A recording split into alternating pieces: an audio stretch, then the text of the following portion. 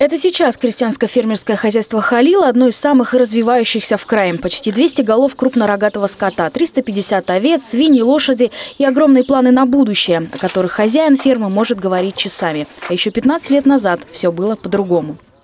А что самое сложное было вообще? Самое сложное, когда не понимал ничего, с чего начинать, как их лечить, как, как все это вообще. Когда места на подворье стало не хватать, зарплату в 95-м платили коровами да баранами. На семейном совете было решено расширяться. Пришлось быстро осваивать все премудрости животноводства. Скотина любит ласку да внимание, говорит фермер. Поэтому тут же и учились. Не могли позволить себе нанять ветеринара или доярку. Первое время делали все сами. Не были бы дружны, наверное, столько не развели бы так скотину. Это же все как Это семейный бизнес. должен быть главный, и как-то от главного все должно все это происходить, стимулироваться. Если бы не было там как, ну, главного, ну, хозяина, и дружбы не было такой понятия, то всего этого не было. В прошлом году Халилов стал обладателем гранта губернатора на развитие семейной фермы. Сегодня на полученные деньги строит доильную установку типа «Елочка», ремонтирует старое здание фермы. Кстати, наводят порядок здесь не наемные специалисты, а свои рабочие. Ради общего дела трудятся без выходных. Даже «Ласточка» вместе с фермером переехала на новое место.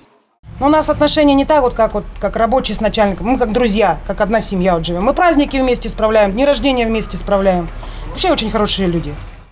Не все работники фермы – местные жители. Многие приезжают из соседних районов. 15 дней на работе, 15 дома. Жить где-то надо. Поэтому в этом году специально для них Халил купил старый домик в Назаровке. После ремонта, говорит, здесь будет общежитие. Если государство наше э, поддержит нас так, по сбыт мяса, молоком, если у нас перебоя не будет, я считаю, что отлично так, можно жить. Почему нет? Свежий воздух, никакой движения, никакой суеты нету. Работай, отработал, дома все свежее у тебя, домашнее. И я считаю, что город, деревне можно больше заработать, чем в городе. О проблемах наш герой говорить не любит, ведь у крестьянина их всегда хватает. Кредиты, неурожаи, болезни. В конце концов, тракторист запил. Дел на ферме всегда хватает. Гораздо охотнее рассказывает о своей мечте. Довести дома хозяйство, отремонтировать все, поголовье увеличить, да детей выучить. А в остальном время покажет. Маргарита Белова, Алексей Фризин. Наши новости.